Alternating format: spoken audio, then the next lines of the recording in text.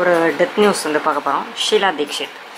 Three times Delhi chief minister chief மினிஸ்டராக வந்துட்டு டெல்லியோட chief மினிஸ்டராக மூணு தடவை இறந்துருக்குறாங்க. இருபது இருபதாம் தேதி அன்றைக்கி அவர் ஜூலை மாதம் இருபதாம் தேதி இறந்துருக்குறாங்க. நியூ டெல்லியிலேயே இறந்துருக்காங்க. அவங்க வந்து ஜூனியர் மினிஸ்டர் ஃபார் பார்லிமெண்ட்ரி அஃபேர்ஸாக கூட சர்வ் பண்ணியிருக்காங்க. She was the longest serving female chief minister for any Indian state சரிங்களா? So longest serving female chief minister அப்படின்னு சொல்லிட்டு கொஷின் பாயிண்ட் ஆஃப் வியூவில் வந்துட்டு கேட்கலாம்.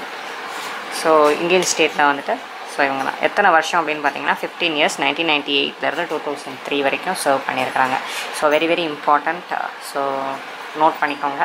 Delhi chief minister three times longest serving female chief minister for any Indian state யாருன்னா ஷீலா தீக்ஷித் ரொம்ப ரொம்ப important death news இது. Right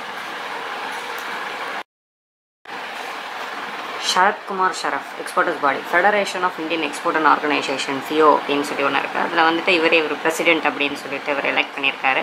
ஸோ அதோடைய பிரசிடென்ட் யார்? சிஓவோட பிரசிடென்ட் யாருன்னா சரத்குமார் ஷரஃப் தான் news is replaced renowned exporter Ganesh Kumar Gupta அப்படின்னு சொல்லிட்டு ஒருத்தர் முன்னாடி இதுக்கு முன்னாடி இருந்திருக்காரு. அவரை ரீப்ளேஸ் பண்ணி இவர் ஒரு எக்ஸ்போர்ட்டர் அப்படின்னு சொல்லி ஆரம்பிச்சிருக்காரு is also chairman and founder of Technocraft Industries India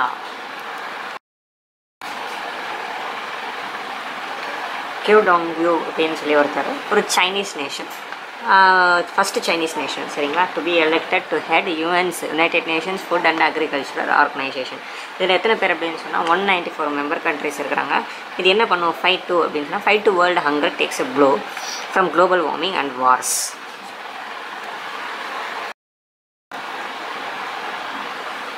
Narendra Batra Indian Olympic அசோசியேஷனுடைய president அவர் என்னென்னா மெம்பர் ஆஃப் இன்டர்நேஷ்னல் ஒலிம்பிக் கமிட்டியில் வந்துட்டு ஒரு மெம்பர் ஆகிட்டார் ஸோ இது யார் அனௌன்ஸ் பண்ணியிருக்காங்கன்னா அந்த இன்டர்நே international Olympic கமிட்டியுடைய chief Thomas Bach Thomas Bach நல்லா ஞாபகம் வச்சுக்கோங்க. இதுதான் வந்துட்டு கொஷின் பாயிண்ட் ஆஃப் வியூவில் கேட்பாங்க. Thomas Bach so International Olympic கமிட்டியில் யார் சீஃபு ஸோ தாமஸ் பேக் ஏன்னா டூ தௌசண்ட் டுவெண்ட்டியில் வந்து ஜப்பானில் டோக்கியோவில் நம்மளுக்கு வந்து ஒலிம்பிக் வரப்போகுது. ஸோ அதனால் வந்துட்டு அதை மையமாக வச்சுட்டு இதெல்லாம் கேட்குறதுக்கு வாய்ப்பு இருக்குது ஸோ அதோட சீஃப் யார் அப்படின்னு சொன்னால் தாமஸ் பேக் அப்படின்னு சொல்லி கேட்பாங்க. So he has been elected as member of International Committee so இது வந்துட்டு பத்து பெம் பத்து மெம்பர்ஸ் இருப்பாங்களா? பத்து மெம்பர்ஸில் இது வந்து one of the prestigious seat இவருக்குன்னு allocate பண்ணி இவருக்கு கொடுத்துருக்குறாங்க. இன்டர்நேஷனல் ஒலிம்பிக் கமிட்டி வந்துட்டு இந்தியன் ஒலிம்பிக் அசோசியேஷன் பிரசிடென்ட்டுக்கு இந்த சீட்டு கொடுத்துருக்காங்க. அவர் பேர் என்னென்னா நரேந்திர பத்ரா. நல்லா ஞாபகம் வச்சுக்கோங்க. நரேந்திர பட்ரா சரி அடுத்தது பார்ப்போம். அடுத்தது ஒன்றோட ஒரு சின்ன நியூஸ் தான். கைரியா கோஸ் மிட்ஸோ டாக்கிஸ் அப்படின்னு ஒருத்தவர். ஸோ பேரே கொஞ்சம் கஷ்டமாக இருக்குல்ல? சரி பரவாயில்ல இருக்கும் கைரியாக்கோஸ் மிட்ஸோ டாக்கீஸ் நல்லா ஞாபகம் வச்சுக்கோங்க Kyriakos Mitsotakis Kyriakos Mitsotakis Kyriakos Mitsotakis அவர் யாருன்னா கிரீஸ் நாட்டுடைய நியூ கன்சர்வேட்டிவ் பிரைம் மினிஸ்டராக எலெக்ட் ஆகிருக்காரு நல்லா ஞாபகம் வச்சுக்கோங்க எந்த நாடுன்னு பாருங்கள் கிரீஸ் கிரீஸ் நாடுடைய பிரைம் மினிஸ்டர் கன்சர்வேட்டிவ் கட்சியினுடைய பிரைம் மினிஸ்டராக தேர்ந்தெடுக்கப்பட்டிருக்காரு. Elect ஆகிருக்கார் Kyriakos Mitsotakis right okay thank you